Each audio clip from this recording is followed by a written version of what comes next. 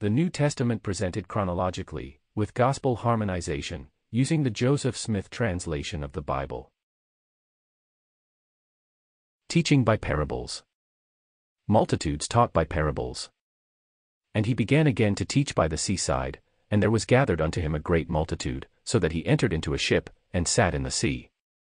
And the whole multitude was by the sea on the land. And he taught them many things by parables. And he said, So is the kingdom of God, as if a man should cast seed into the ground. And should sleep, and rise night and day, and the seed should spring and grow up, he knoweth not how.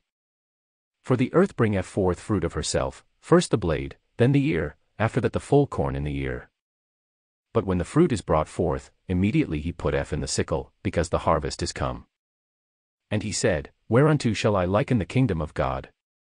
Or with what comparison shall we compare it? It is like a grain of mustard seed, which, when it is sown in the earth, is less than all the seeds that be in the earth. But when it is sown, it groweth up, and becometh greater than all herbs, and shooteth out great branches, so that the fowls of the air may lodge under the shadow of it.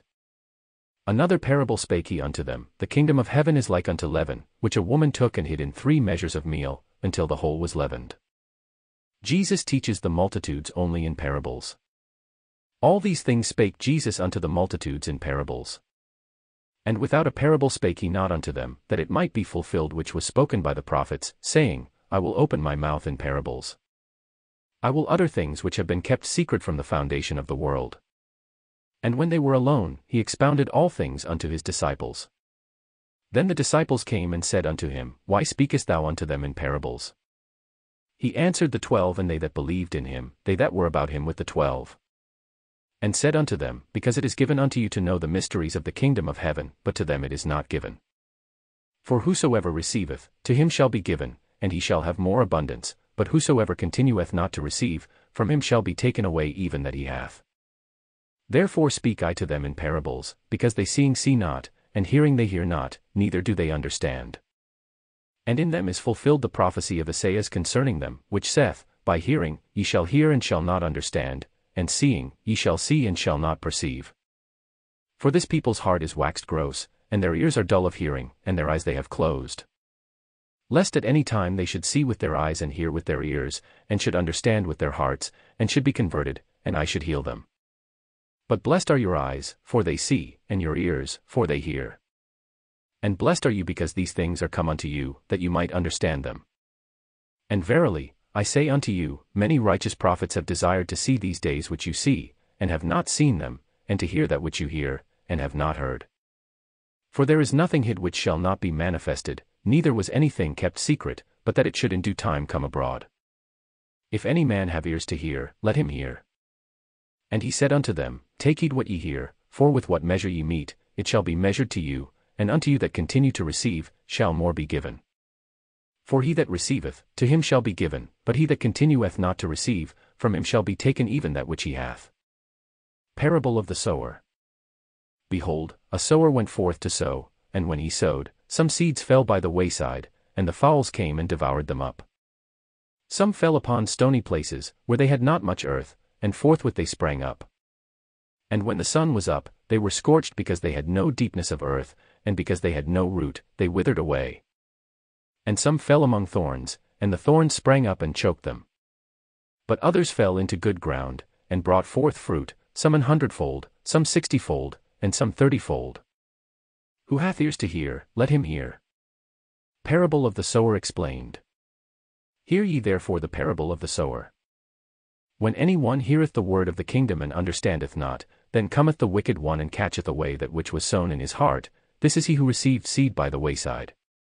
But he that received the seed into stony places, the same is he that heareth the word and readily with joy receiveth it, yet he hath not root in himself, and endureth but for a while. For when tribulation or persecution ariseth because of the word, by and by he is offended. He also who received seed among the thorns is he that heareth the word, and the care of this world and the deceitfulness of riches choke the word, and he becometh unfruitful. But he who received seed into the good ground is he who heareth the word and understandeth and endureth, which also beareth fruit and bringeth forth, some an hundredfold, some sixty, and some thirty. Parable of the tares of the field. Another parable put he forth unto them, saying, The kingdom of heaven is likened unto a man who sowed good seed in his field. But while he slept, his enemy came, and sowed tares among the wheat, and went his way. But when the blade sprang up, and brought forth fruit, then appeared the tares also. So the servants of the householder came and said unto him, Sir, didst not thou sow good seed in thy field? Whence then hath it tares? He said unto them, An enemy hath done this. And the servant said unto him, Wilt thou then that we go and gather them up? But he said, Nay, lest while ye gather up the tares, ye root up also the wheat with them.